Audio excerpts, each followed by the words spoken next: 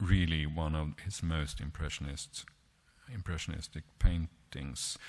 Uh, called Omnibus. It shows the interior of, of a, such a horse-drawn carriage that ran through Paris.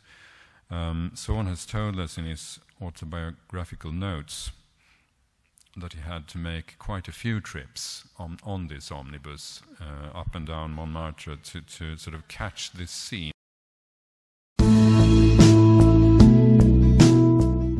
Anders Zorn lived from 1860 to 1920 and was known primarily for his portrait paintings. However, he did a number of landscapes as well. The unique feature about most of his work was that it was created in a very limited palette of white, red, yellow ochre, and black. A palette you might think simply would not work, but surprisingly, it gives the artist a great versatility. Life of Anders Zorn is the tale about the boy born empty handed who works hard, wins fame and fortune worldwide, and returns home a hero. During the World Exhibition in Paris in 1889, he was awarded the Legion of Honor.